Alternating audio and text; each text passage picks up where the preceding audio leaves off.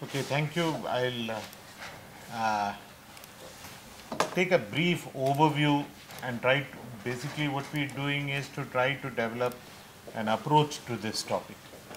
Uh, I don't think we have, as it is, uh, any clarity in direction as to exactly where we need to go with this. But there is one context that is happening is that there is a Department of Health at the instance of uh, the Knowledge Commission and various other bodies has taken an initiative to set up an sector innovation council to specifically look at what are the health sector innovation needs and what is the role of the government in promoting, absorbing, in directing, providing leadership to the area of health and innovation. And this time I am talking specifically from the Ministry of Health.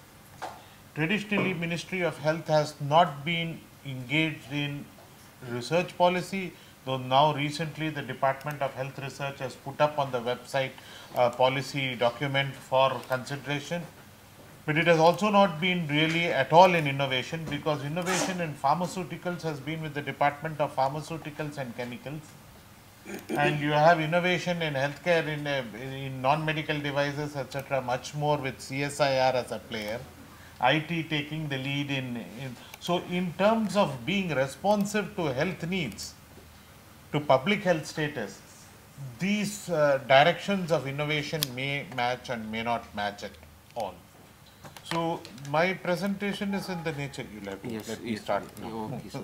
I I was Right, filling sir. in till you. This one, sir. Yeah, yeah. So it's in the nature of an overview on this uh, topic and actually we are trying to develop a background paper for the council also. So I call it innovation, health research and public health, uh, developing an agenda for action. And I'm also a lot of looking at both an agenda for action for the health department and for civil society or public health experts or the people working in public health with respect to national health goals.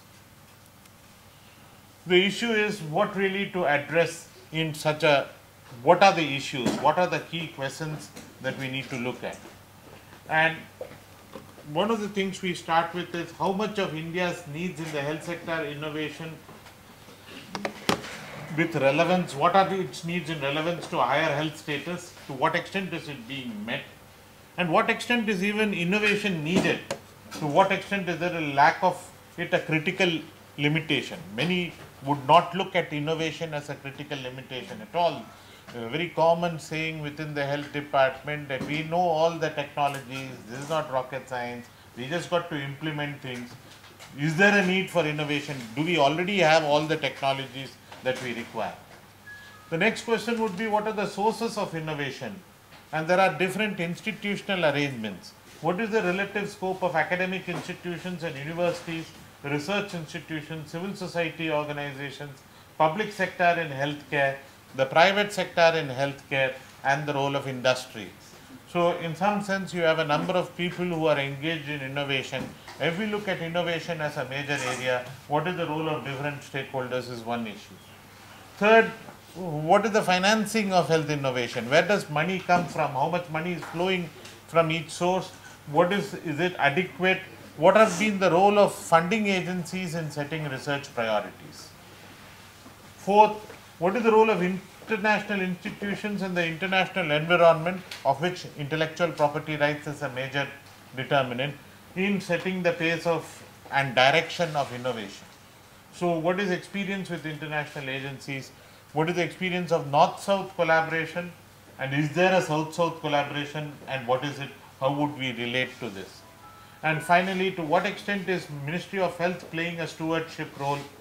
I mean, we know it is not, but what I'm saying, to what extent in a general area, in fact, they're quite puzzled at the topic in some sense. They really don't know, like, you know, look at it and say, where do we start from on this? You know, this is something, and relationship between innovators, Ministry of Health, and what is ne- needed to enhance capacity, environment, and absorption of innovation.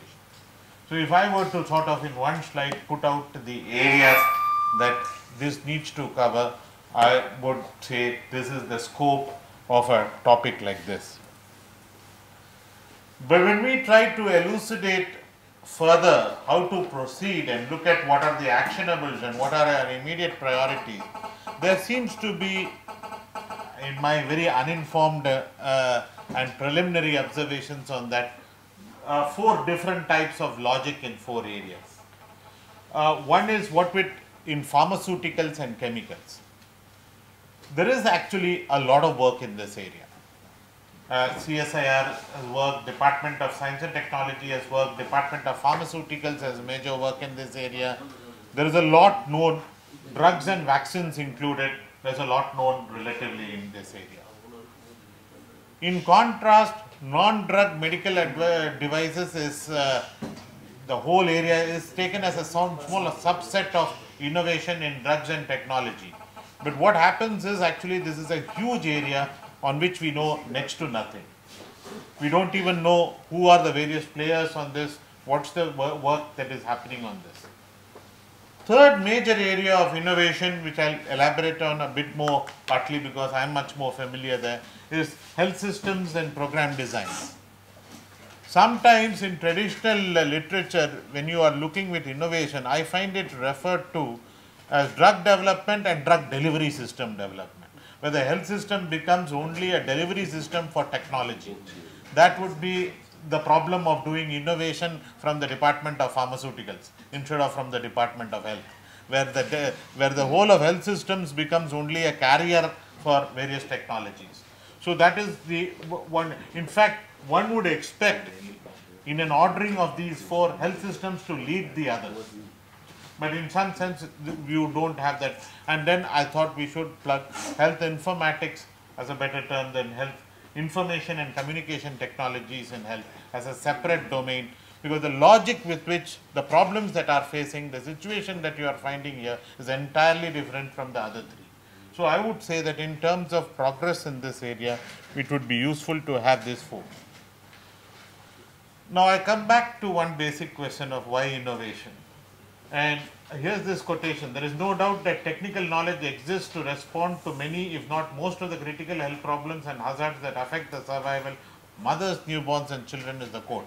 We don't, they're not extending it to all of healthcare, but even over here, if this is the situation, the search for improved methods of prevention, diagnosis, or treatment is only one of the many dimensions of public health management. Access to existing technologies and actions on social determinants being far more important. There's a tension as a health planner, as a Ministry of Health, when I'm really looking at technology innovation and investing in technology innovation, I need not be driven by an industrial need or by a corporate need. I need to be able to say that if this money is there, there are areas where existing technologies suffice and there are areas where you need technology development and this striking the balance between this and you need funding and research. The problem is that you would also have to make decisions without quite knowing outcomes on that. And we are not very good at making even when we know the outcomes. So when we have so to make outcomes in an uncertain area is very difficult on this. I think you must there is one reference document on this which is available the world health organization's commission on public health innovation and international property rights which i think is a recent document 2005 6 period? And 2008. 2008 document and that sets out a number of issues. Mission was 2005, but the GSPOA was in 2008.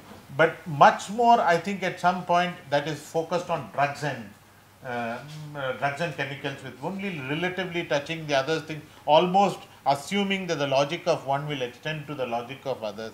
But i am sort of taking a position that there are four different ways in which it works and it's not going to be one thing that is setting across the other thing now, in pharmaceuticals, including vaccines, I'm just going to briefly touch upon this. Innovation in this area is relatively much better studied.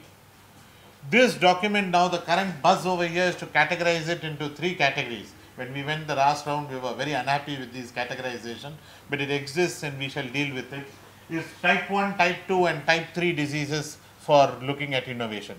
Type 1 are priorities globally, both internationally and nationally, and much more investment going in. Cardiovascular diseases, diseases that are in rich and poor countries.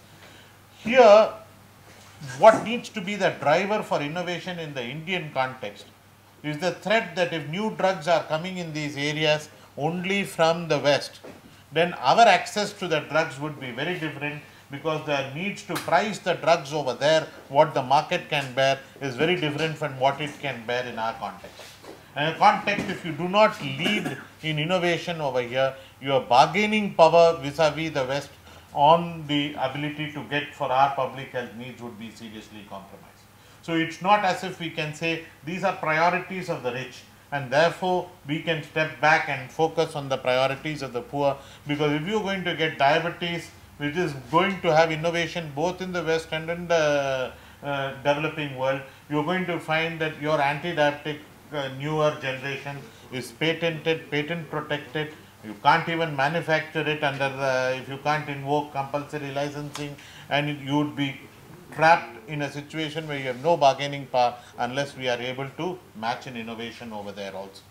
Whereas in type 2 diseases, diseases which are there in the west and in the uh, developing in the south, but you have a much greater load in the south. So therefore it's led at some sense by the priorities of the south. You have that logic plus the issue of uh, need innovation both for cost reductions.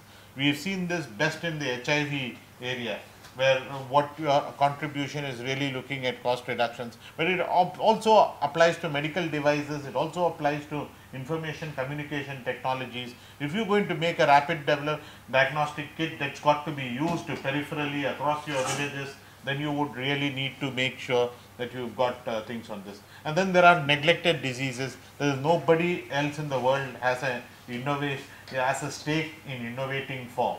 It's our problem, and we'll need to deal with it, and we'll need to actually find uh, cases for this.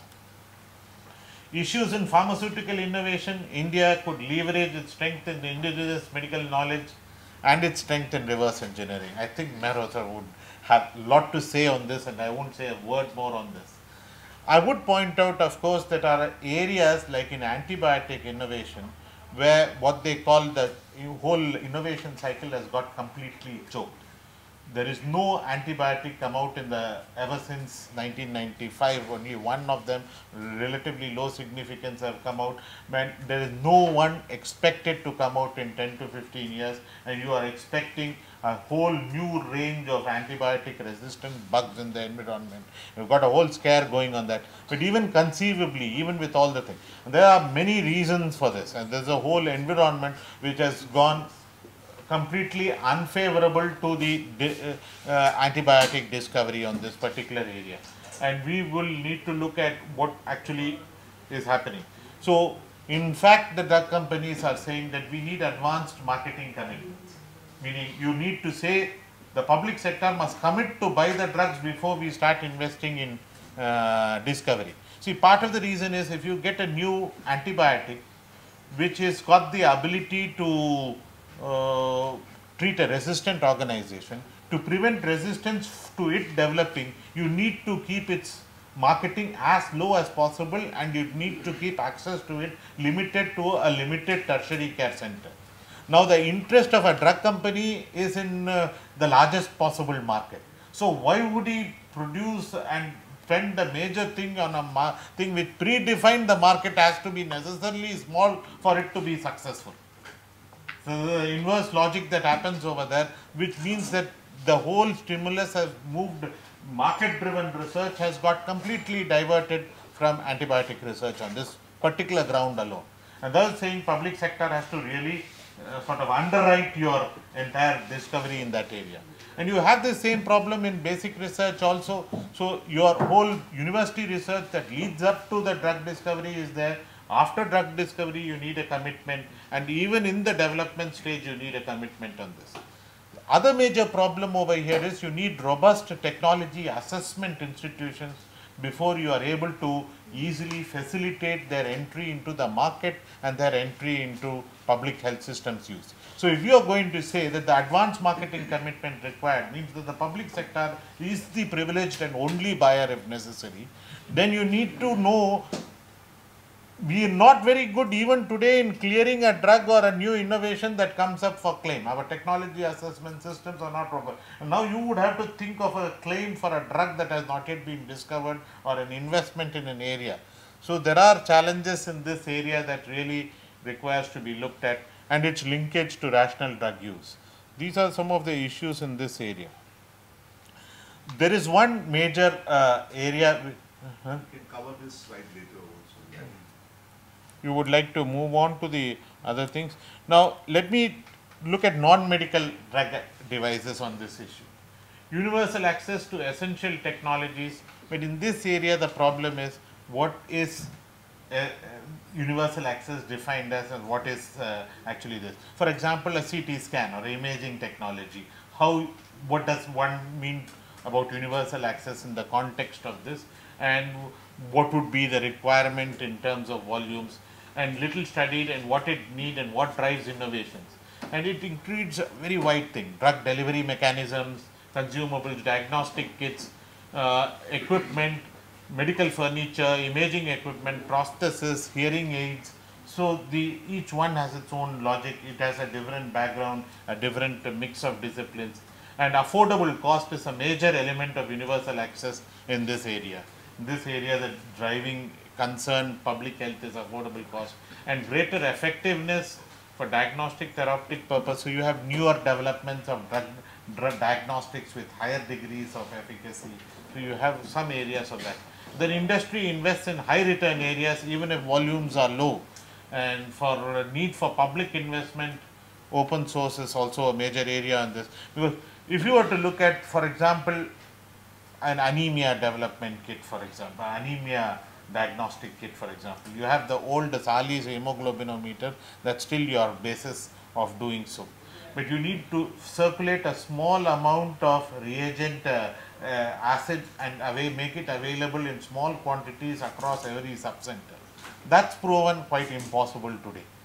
And as a result, across the country, out of 1 lakh 446,000 subcenters, I don't think you would have more than about 10,000 subcenters, less than 10% actually able to do hemoglobin testing. We've tried and it's actually a very difficult problem. Now, there is a case for developing a much simpler way and there is some ways, but they are not standardized. Even the, the copper sulfate based technologies are not standardized and you have even on some simple thing, you have actually need for further development. Not to talk of uh, things, for example, being able to give anti-snake venom, judging the level of venom envenomation that has taken place, for example.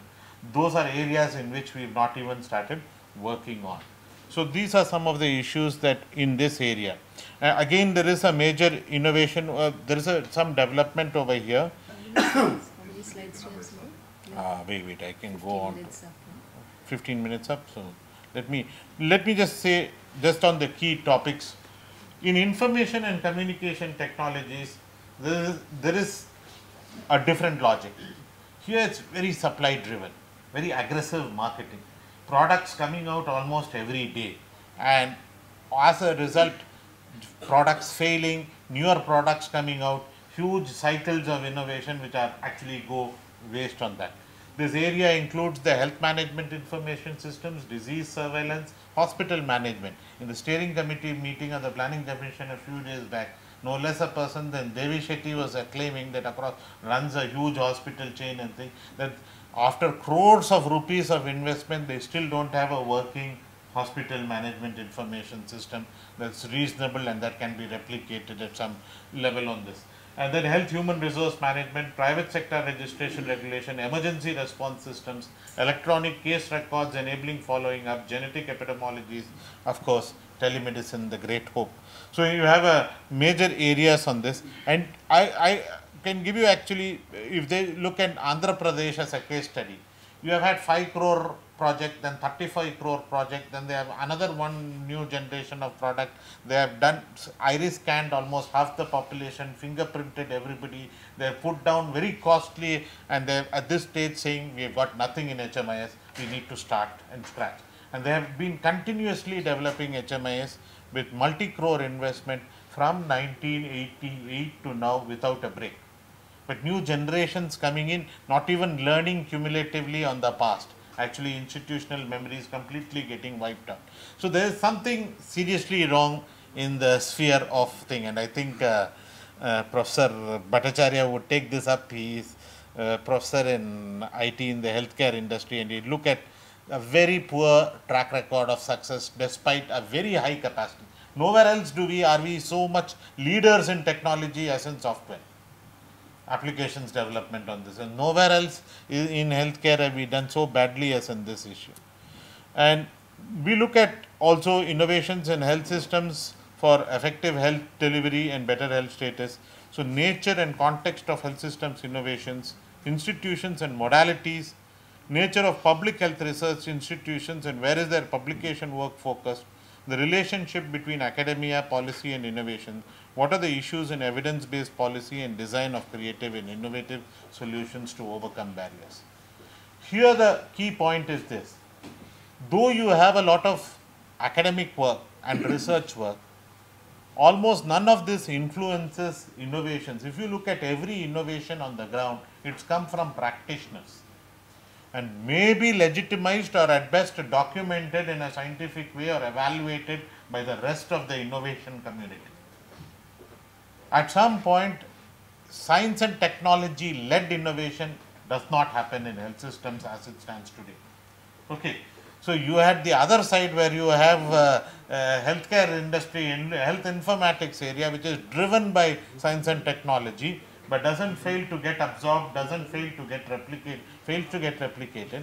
And you have the uh, reverse side if you look at uh, uh, health systems over here where at some point it is a practitioner led innovation and you really uh, do not have research institutions playing anything but a most peripheral role. So if you look at the major things, so the ASHA program or human resources in health, or you look at systems design or program development, you look at uh, say something like the home-based neonatal care project or the IMNCI, what role have standard institutions or academia or public health made in the development and design of these? In some sense, are they even able to respond to these in any fashion? And what is the problems of this? I think it's not without its problems. I think it's not to say that the practice to lionize the practitioner community, it has its own bias and prejudice on this. So the fact that it is uninformed by uh, certain degrees, what really is the uh, problem of that? I think those are some of the areas that we need to explore on this. Thank you.